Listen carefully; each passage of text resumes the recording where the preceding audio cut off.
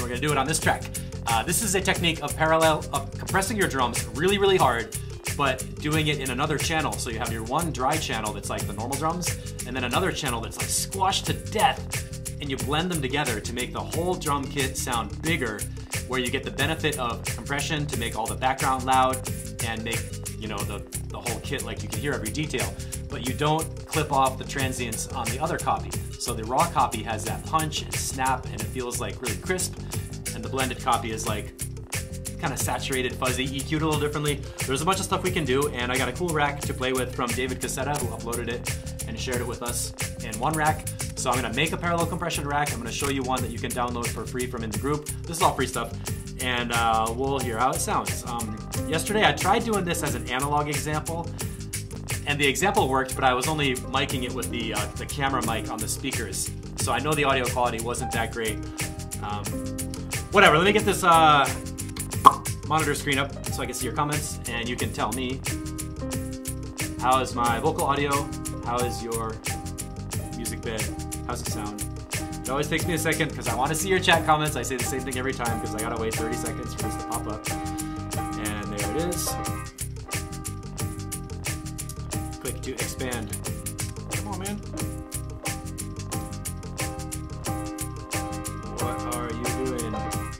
Monitor screen computer is like super slow. Oh, Facebook's giving me some crazy shit. I don't want that. Back button. This is a cool track though, right? Okay, let's try that again. There's my video. Yes, click to expand. And give me a little hi, tell me where you are, where you're coming from. All right, Dan Pratt. So hey, Dan, um, how's the voice? How's the audio? It should be the same every time, but I do some different stuff in my studio each night or whatever. So I want to make sure you can hear me, I can hear you, and now we can go into live. So here's my session. There's a bunch of piano on there. There's a bunch of interesting effects too, but we're going to turn off the effects for now because I want you to make, I want to make sure you can hear what we're talking about. I made one bus over here with this uh, New York compression bus plugin. Ricardo from Portugal, cool. Hey, Andy May in Pittsburgh. Hey, hey, hey. All right, so we're going to play with this effect chain and let's define what we're working with. I want to just do the beats. So there we have our kick drum sound. And this track of beats.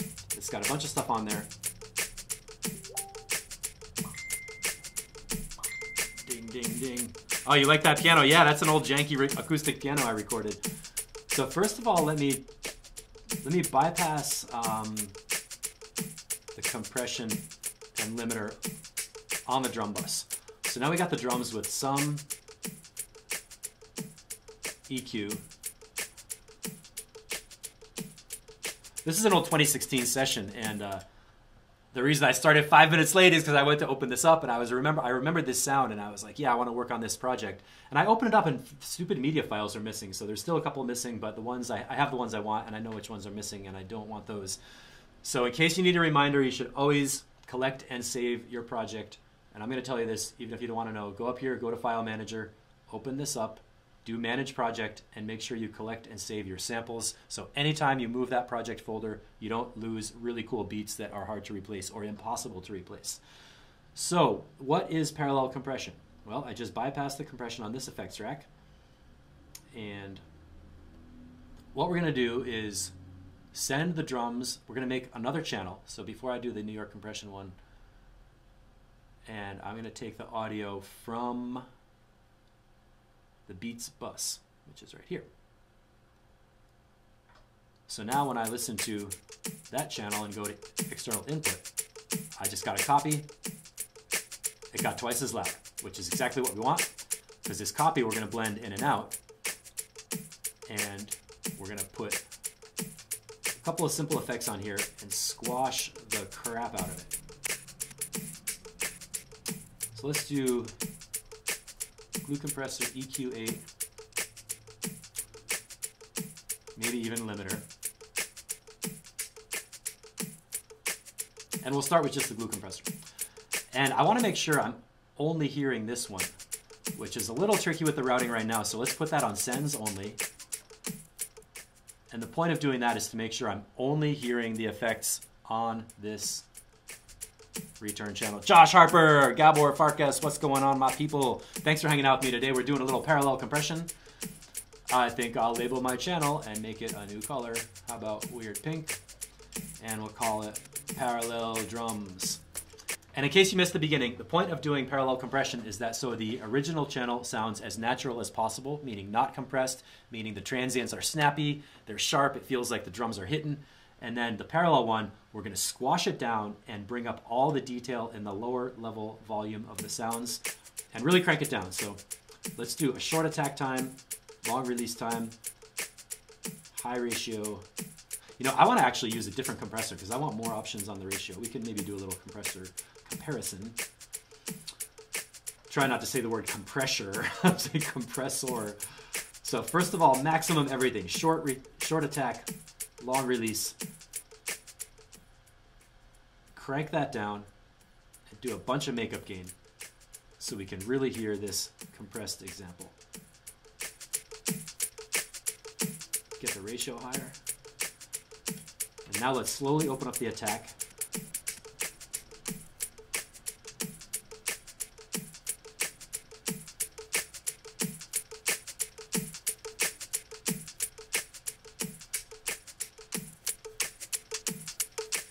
And as you as you shorten the release, you can hear the compressor really, really pumping. It should sound like every drum hit is getting squashed, or like Steve Albini said, overcompressed drums sound like they're in, exploding inside a beer can.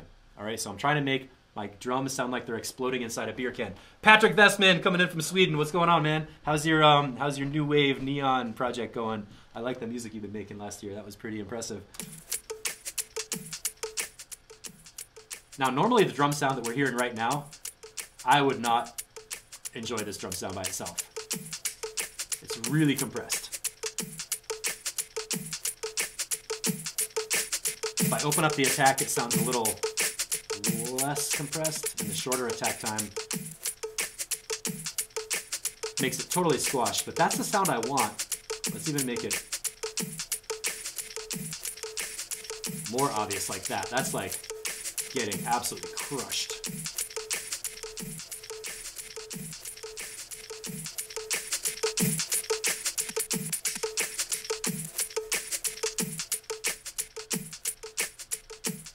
Now by dialing in the release time, I can kind of control the like the reverb on the kit. With a really short release, it's like amplifying, the makeup gain is amplifying all that background noise behind each hit. And that's a little too much. So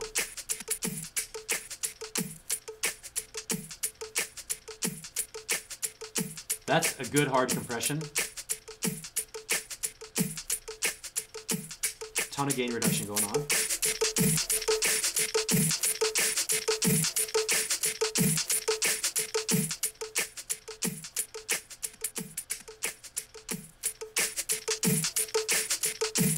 Does take a good amount of listening to dial in, kind of going carefully here.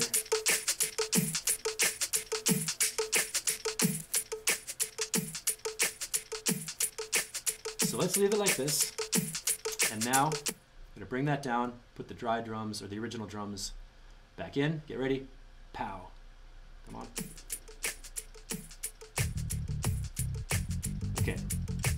Here's our mix. Got the kick drum, the bass line, the original drums, and the second channel has the really compressed version. Let's blend it up and hear what we get. Why am I doing this on the NOS?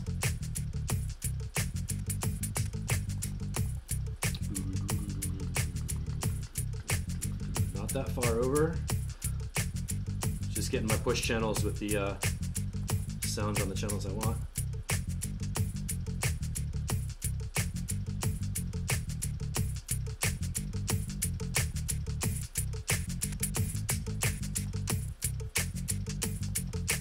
What is going on?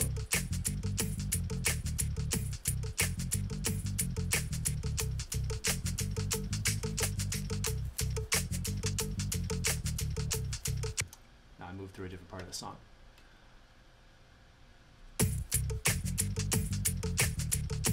Okay. So that's without the parallel smashed.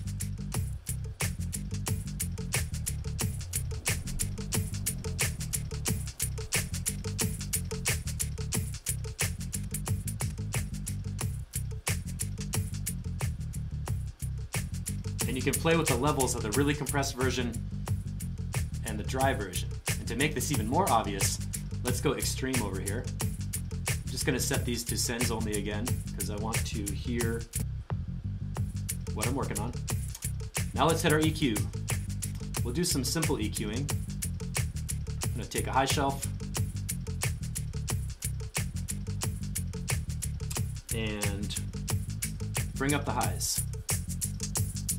So it's gonna be crispy and really obvious. Jay Sager, Funky Bass, thank you. Yeah, man, this is cool bass line. I'm excited to get this track out and finished in my Quarantine Beats project. And now I'm really jacking up this high shelf more than I would for a normal drum kit because I want to exaggerate it. I want to make it sound extra cool, kind of weird. And maybe I'll go down and do one band of boost down somewhere down low.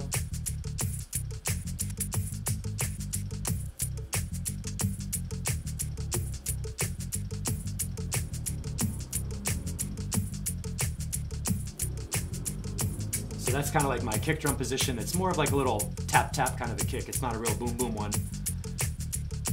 And we'll bring that back in. Compare it with our dry version.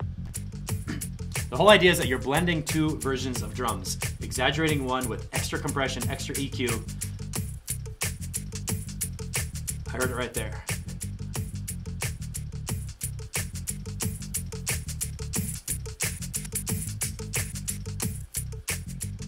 Makes the kit sound. Well, tell me how you hear it. Do you hear this? How does the kit sound with the parallel version in there? Let's go even farther. I'm in a maximum everything kind of mood today, so I'm gonna hit the wider plugin.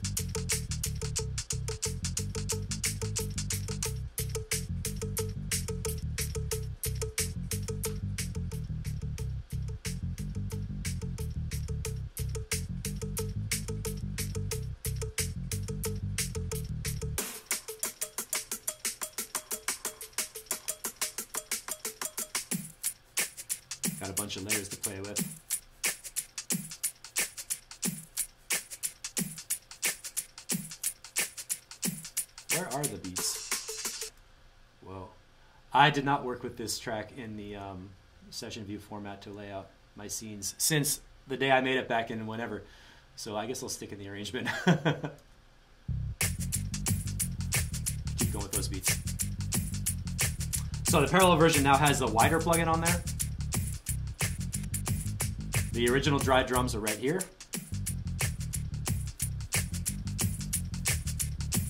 I hear that coming in and out. I hope you can hear the stereo width. The high end comes up a little louder. And also by basically doubling the channel, the whole drum kit gets louder. Now I'm gonna do a little rhythmic thing that's gonna even exaggerate this more. We're gonna do it from the middle.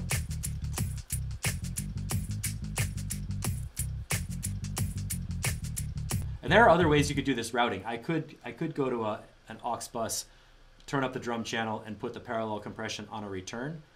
But um, I just chose to do it this way so that they would be right next to each other, and I would save my aux returns for reverbs and delays. So let's play with a gate and see if I can exaggerate the, the rhythmic pulse of these drums.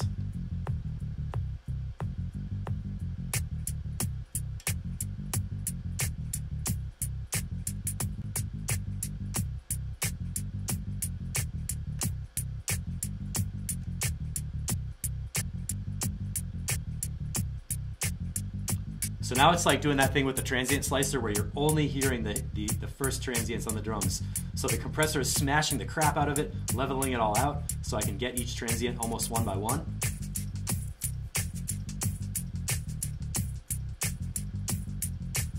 And now with the, the, the floor, there's total silence in between them. If I bring this up, it's like the gate is bypassed. Because when the gate kicks in, it doesn't reduce the volume.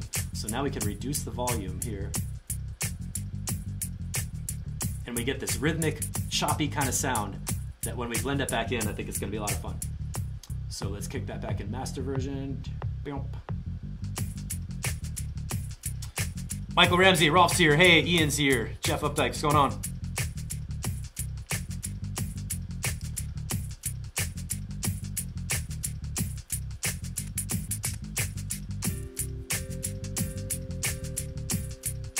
And then of course, to really check your drums, you should hear the whole mix and see if you're getting, you know, are the drums coming through the way you want.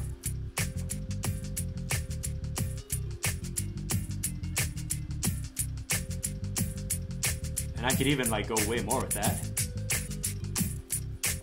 Up here you can hear it's too much, it's like too exaggerated. So let's bring it back down.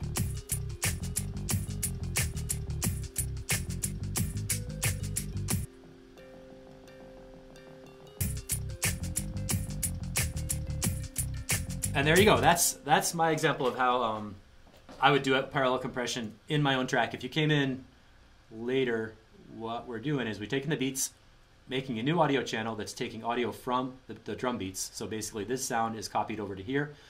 On the parallel drums audio track, we completely smashed this drum beat with a compressor. I chose the original compressor, not the glue compressor, because I wanted more options with attack time and ratio to play with. So that's why I used that compressor instead of glue where you've got fewer options. Glue is great, but I didn't want to use it in this example. Then I EQ'd it to bring up the brightness on the high end of the compressed drum beat and add a little bit of a bump over here around 180, kind of where the kick, kick drum part was popping through. And then a gate to chop out sections so it gets super rhythmic. John Vault says, seems like the overall result is more like a reverse of compression. The overly compressed track brings everything up a bit, but since you let the transients through, these are accentuated even more. Yeah, it's a weird thing. Um, the, the hyper compression was made, I did that to level out every single drum hit in that loop. So they were all kind of like right at the same peak. So that's like bringing up the volume of all the quiet parts. And then the gate functions kind of like an expander to chop out the empty space in between the, the beats. So you've got a combination of hyper compressed drums with little slices in between them and together that makes the rhythmic action of the main kit feel like like I have a really good control of being able to bring up how rhythmic it feels and make it feel like more bouncy kind of. I don't know. Um, you can also add a little bit of saturation and distortion into your paralleled version so you get that fuzz and crunch and bite on there.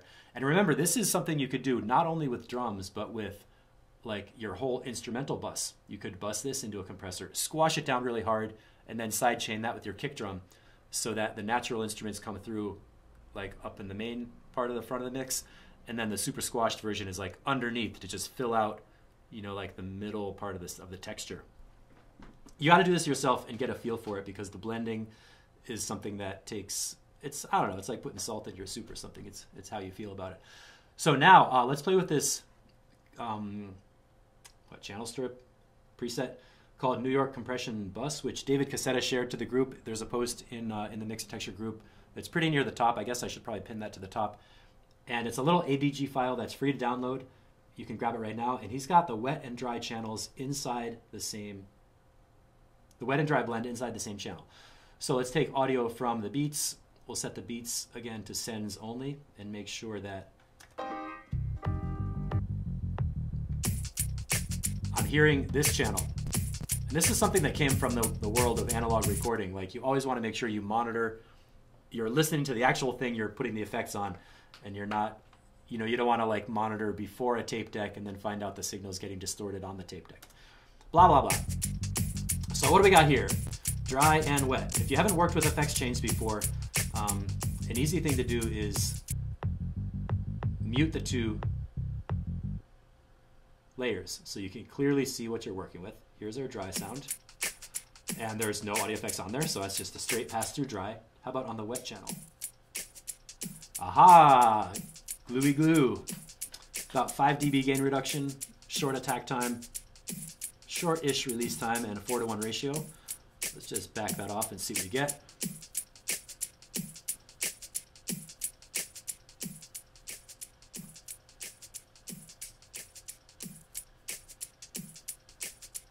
Kind of exaggerate these and really hear what we're doing.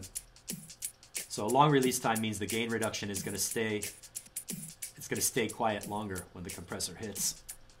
I'm gonna turn up my headphones. Short attack time means the front of each sound is gonna get really smacked. I actually like the auto release section setting on glue. I use this almost all the time. Let's back it off again, refresh our ears. See how slow that takes to settle back in. Now let's dial it down.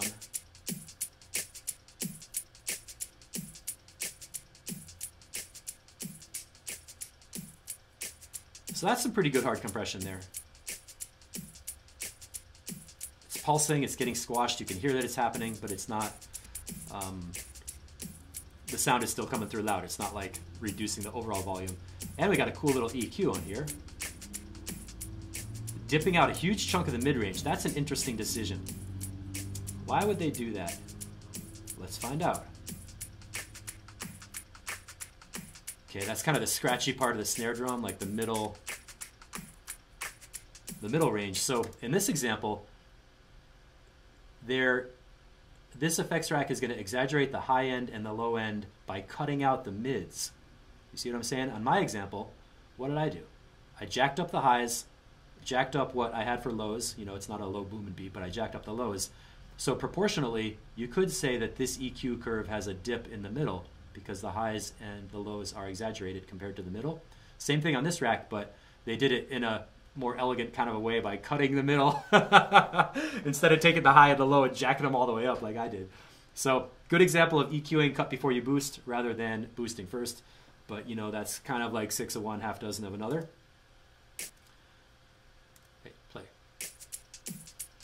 And now what we can do is unmute the dry signal and see how they sound. And notice this, what's this over here? oh, the volume of the wet signal is down at minus 8, which means there's already some blending happening. So I'm going to unmute the dry signal and then roll up the volume on the, the wet compressed and see, how, see what we get.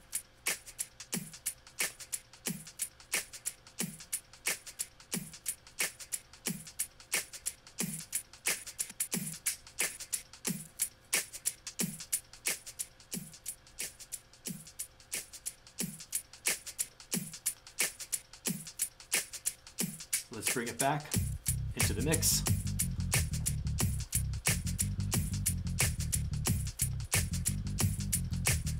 How do I get knobs on those two volumes?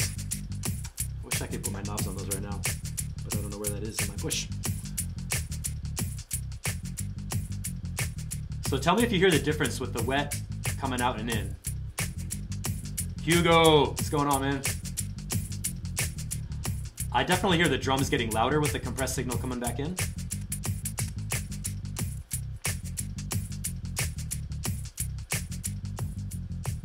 You know what might be fun?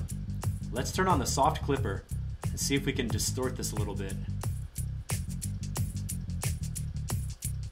So I'm going to take the wet signal, add gain until this soft clip light starts to hit.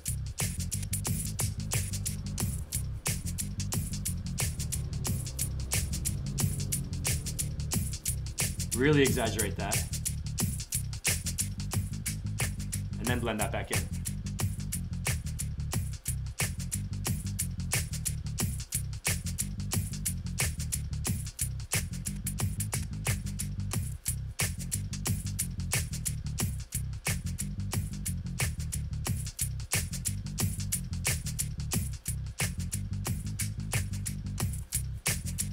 Let me know if you hear that as this comes in and out when I mute and unmute the wet chain? Or how would you describe that?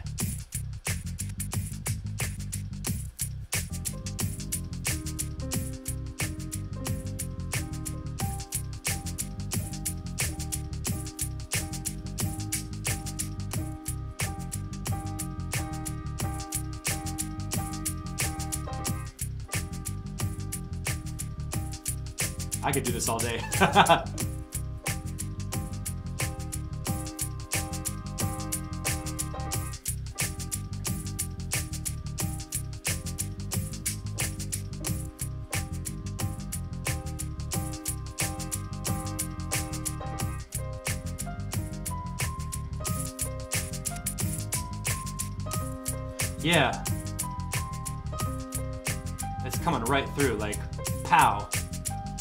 You know what we need here is a good hard cymbal crash to make this super obvious. So Dan said gets punchier with the wet on. Uh, Hugo can hear it perfectly. Cool. I'm glad you can hear the difference. Um, in basic language, all we're doing is making the drums louder in the track so you hear them better. But we're doing it not by just copying the drums or not by just taking the drum channel and you know jacking it up to a billion. We're making a copy, modifying the copy, and doing a couple little things to pull out details that pop up better. So I, you could see I moved this low pass, uh, high pass filter and jacked up the low frequency on it by adding resonance to tune in on where the bottom end of that drum beat was. And as we were playing, I added 12 dB of gain here, 20 dB of gain here on purpose, smashing it up into the soft clipper to get that fuzzy tone. Because as you know, distortion makes a sound cut through the mix better, kind of like like nukes everything else in its its frequency range and brings the distorted sound up to the front of your ear. Let me um I want to go back to camera land. I don't know why I feel like being on camera. Here I am in camera land, headphones down. So um, let me know if you have any questions about this. This is a really fun technique that you can do with your drum group. So you know, you, I'm always talking about bus groups, right? A drum bus group, an instrument bus group. Now you have a really cool tool to use with your bus groups. So you could take the, uh, the parallel compression and put it on a bus group with the device chains to make the wet dry thing. Or you could put it on an aux return and blend it in with a different fader. Or you could do it like I did with a new audio track and set the input to the uh, source of the bus group and do some parallel compression that way. We looked at compressor settings, EQ ideas of what to do with it. I played with that gate, which I think that was cool, making that choppy, stuttery kind of sound to really like exaggerate the rhythm. Oh my gosh, Dan could even hear it on iPad speakers. Uh, victory for us. uh, you know what? Do you want to see? Um, I don't know if you know how to make device chains. If you wanted to set up your own parallel compression within a channel strip. So let me do that last. That'll be a really cool thing. This will be useful if you've never done it before. So we're going to do parallel compression right here on the beats. And I already have an effects chain set up. So maybe I'll start from scratch. Let's do that. Turn this one off. So what are we doing? We've got some drum beats happening. We're going to drop in a compressor and EQ8 and let's put in a limiter like that. And now I'll mute the other stuff, get my beats going, get my volume back up. Okay.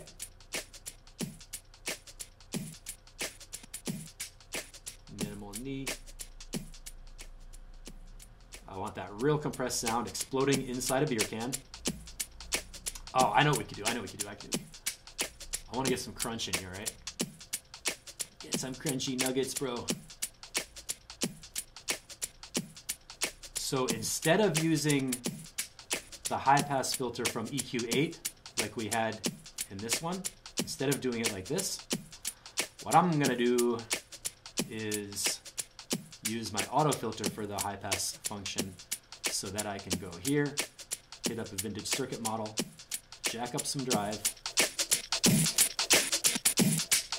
and get that crunch happening. And because I don't want to overdrive my output that much, bring my compressor output down, use the drive to get tone without totally blowing up my levels.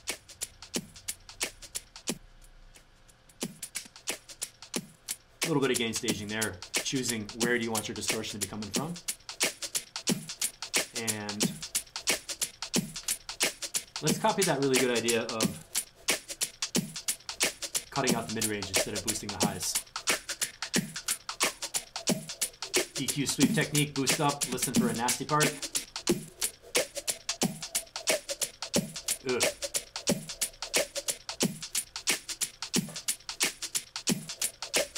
Do I want that 565 hertz in my beat? oh, oh, oh. Sounds like, uh, I don't know, I don't like it. Cut that out. Okay, cut out the mid-range why not even widen out a little bit? And let's go crazy like Prince and still do some of this.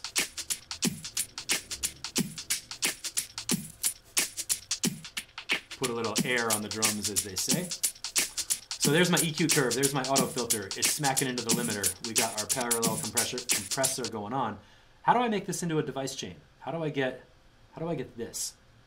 Right? That's in my device chains button. That's officially called show hide chain list. The reason I'm learning these terms is I want to be get I want to get certified as an Ableton trainer and you have to know the exact word like show hide chain list. So, how do you see your chain list? Well, before you can see the chain list, you have to make an effect rack. So you select every device in your effects chain right here. You can right click on it or you can use Command G to make a group. That's step one. So here we have an audio effect group. It puts them all in this container so you can turn on and off the whole thing from one place. You can open up that button to get macros and assign different controls for each parameter, which we might do. And here is the magic button for the chain list. Right now we have one chain. Nothing. There's the chain. So to do this in parallel, and let's name this first. Yeah, smart. Call it Smashy. Drop audio effects here, or right click, create chain. And there you go. Now this chain is going to be a completely fresh copy. Like everything coming into this channel from wherever it's coming from could be coming from an instrument or like we have uh, you know the stuff busing to it. This is a totally separate copy and it has no audio effects. So let's call this one dry. So you know, and maybe we can even color code those. Oh, we can. Ooh, dry will be green, smashy's red. So when you click on the chain, you see the effects. You can even minimize them and get a good overview. So there's the smashed version has that on it. The dry version has nothing on it and you have your volume controls. So let's play, um, let's do it like this. Let's bring the dry value down like minus 6 dB so that the level is a little quieter, and then we're going to make up for the loss of level with this volume listening to it in the mix for the blend. Here we go. Oh, Dan says you have a kick on your Beats bus. You have a separate kick going to your low bus or routing it twice. I am supposed to know the answer. Um, Do I have a separate kick on the low bus? Yes, the kick drum is on the low bus by itself, and the kick that we hear in the beats is coming from a drum loop. So that, like, one of these break loop channels has what we're hearing for the kick drum.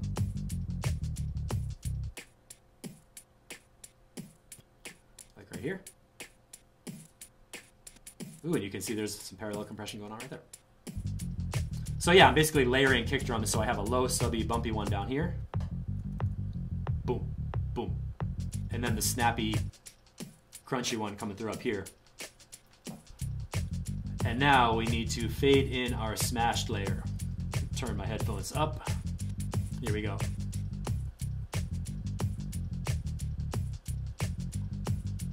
Oh, why don't I hear it, Steve? Because I didn't unmute it. Durr. ah, you hear that? right around minus 16 that just came in. Only dry. The blend, it just snaps out at you. And you know what we can do that'd be fun?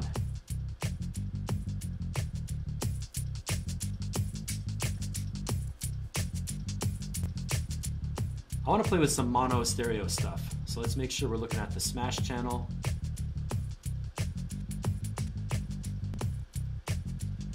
drop that in. And what if we expand our stereo width a bunch?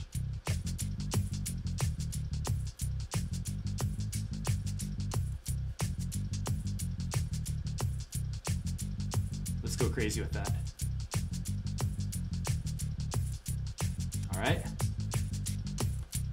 There's only the dry sound.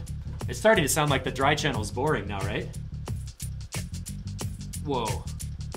Louder, crisper, wider. That's working for me.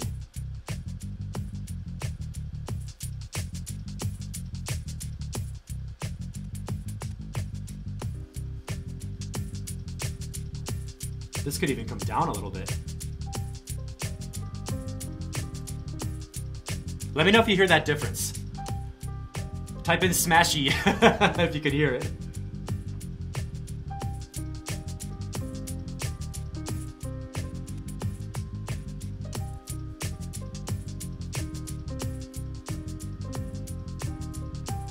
And notice that when you when I mute the dry, It's sort of like the middle falls out.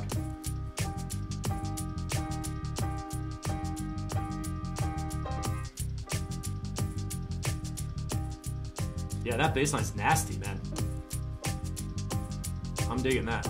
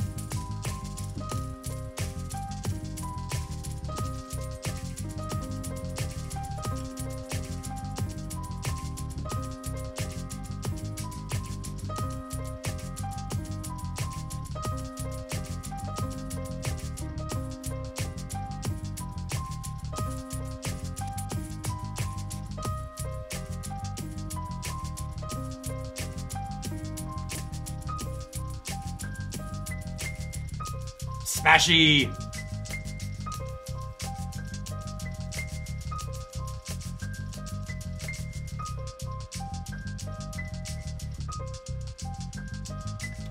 Where are we in this track?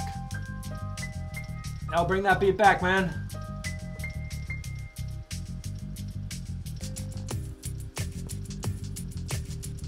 Okay.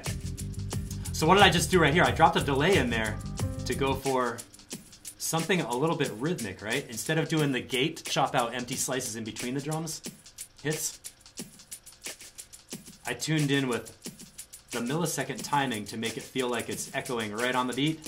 Low feedback, so we only get one copy. I don't want, I don't want that.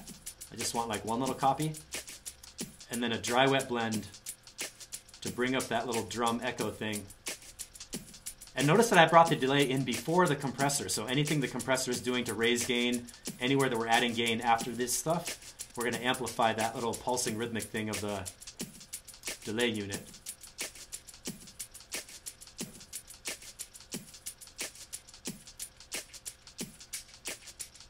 Now I'm going to filter the delays a little bit because I'm playing around.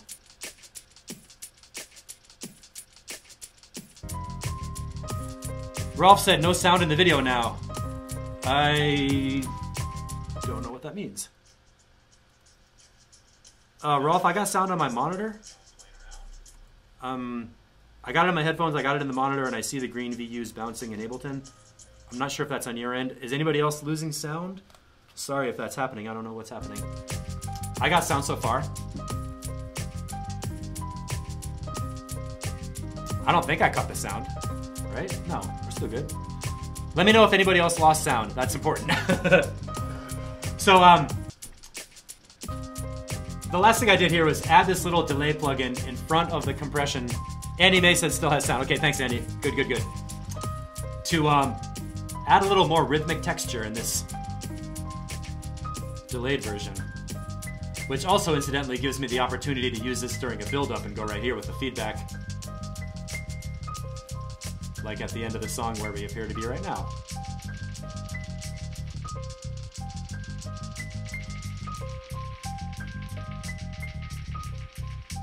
For creative effect.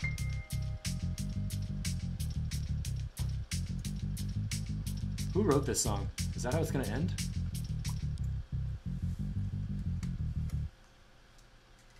Oh wow. Some noise at the end of the piano.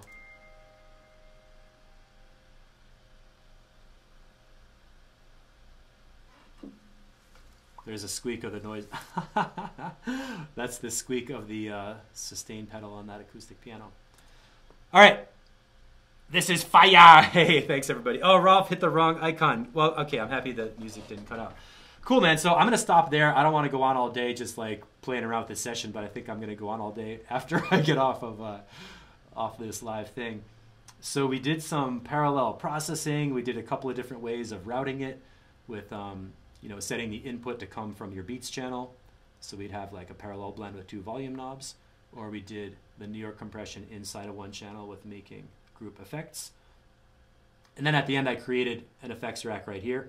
Remember, you have to take your plugins, group them using the group command, and then you have to go over to the little show hide channel, show hide chain, show hide chain list, show hide chain list.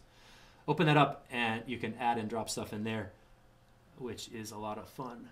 And you can also drop like reverbs and stuff and have them go in there.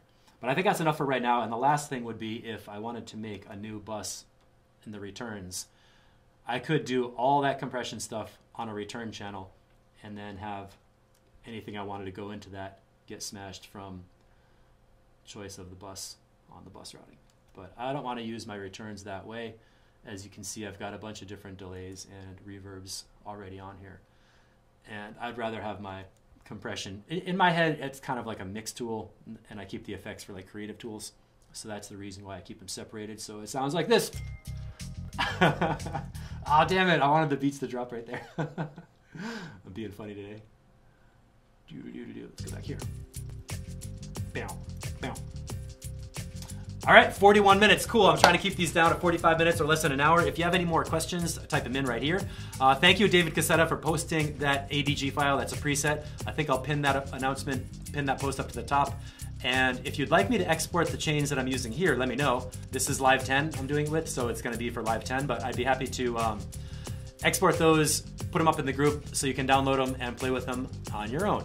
How do you like that? Let me know what you want. Let me know what you think. If you have any more questions, type them in. And this is my favorite way to do it right now. I saw this post last night where a couple people were talking about parallel compression or New York compression, which came from New York studios in the 80s probably. I don't know.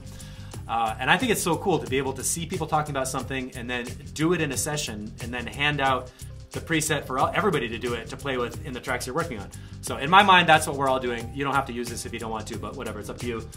And uh, I think that's enough for now. All right, thanks for watching, everybody. I'll catch you tomorrow. Beep.